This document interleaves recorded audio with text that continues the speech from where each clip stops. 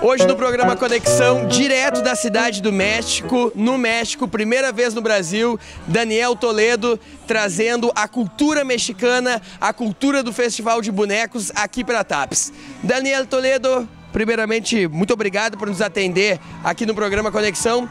Habla sobre o pueblo hospitaleiro aqui em Tapes e sobre o seu trabalho com o Festival de Bonecos e toda a amplitude que isso vai gerar no impacto cultural da cidade tapense. Claro, bueno, antes que nada, muchas gracias por la invitación aquí al Campamento Cultural en Tapes. Es un ambiente muy, muy agradable, muy festivo, mucha gente, muchos niños, muchas propuestas artísticas. Y bueno, venimos participando gracias al colectivo de cajas de, Pandora de Porto Alegre trayendo una cajita de teatro en miniatura, lucha libre mexicana. Legal. Lo pueblo tapiense, hospitalero, hermoso, muy legal. Eh, el pueblo ha sido fantástico, conocer la gente, muy cariñosa, siempre sonriendo. Eh, la comida que preparan acá es riquísima, la comida, uy, las mujeres son muy bellas. El clima es muy agradable y bueno, estamos en un ambiente de festa. Tá certo. Sábado e domingo a tua apresentação aqui. Viernes, sábado y domingo con las cajitas y a la noche estaremos por ahí en la plaza haciendo un poco de intervenciones con las marionetas. Hoje no programa Conexão nós vamos falar sobre como o primeiro festival literário e cultural está modificando os ares dessa cidade e elevando a cultura aqui do município.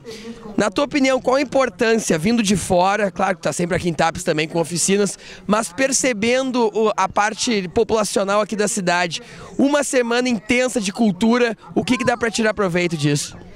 Bom, dá tirar proveito de tudo, né? Porque aqui, por exemplo, ó, aproveitando para dar um abraço, está sendo um evento muito afetivo e a gente está conseguindo fazer com que todas as pessoas sejam contempladas, sejam abraçadas contar histórias, assistir espetáculos de teatro, de música, proporciona isso, né? Esse momento, esse contato com as pessoas. Espero que todos estejam gostando muito, porque eu tô curtindo. Tu tá gostando do evento aqui? Aham. Tá bem legal.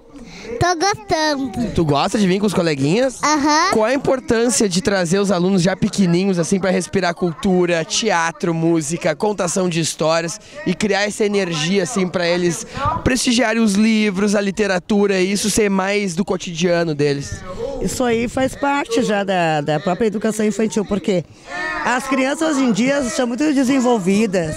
As crianças hoje em dia já sabem o que é um livro, eles já sabem o que é contar uma historinha, eles já sabem o que é dançar. Então isso é muito importante para a criança. Para as crianças principalmente, né? Porque elas, elas fizeram livros, as e-mails, né? E outras escolas também participando ativamente com a nossa, as bancas ali. Cada escola tem a sua, mostrando seu trabalho que é feito durante o ano.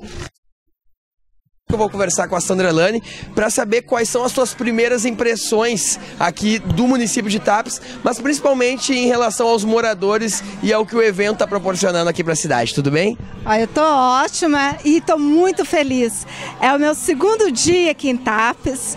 Não conhecia a cidade e eu estou encantada. Sabe por quê que eu tô encantada? Eu tô encantada é, é com o jeito das pessoas, com o brilho no olhar das pessoas, a vontade que tudo dê certo.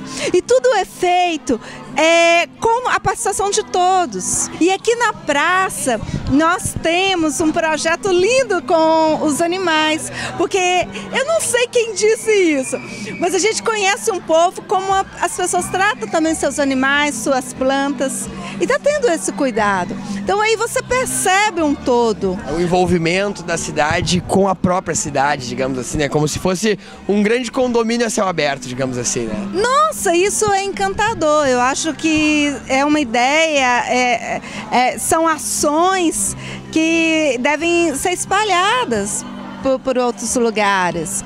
E está de parabéns aqui o evento, o acampamento literário, o décimo encontro ao pé do ouvido, a, a união né, do, dos órgãos é, que são competentes para desenvolver todas essas atividades que abraçaram a causa, a prefeitura, a secretaria né, de educação de cultura, Débora com um trabalho aí fantástico, a Rosane Castro e tantas outras pessoas. Todos vocês estão de parabéns.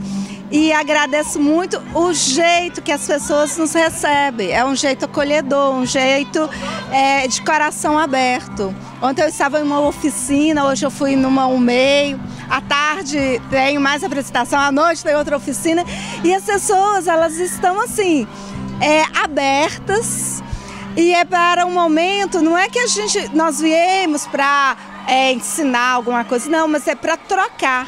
Então nós estamos sendo essa troca e eu estou levando é, coisas maravilhosas aqui de TAP. Muito obrigada, obrigada pela oportunidade, viu? Obrigada, TAPES.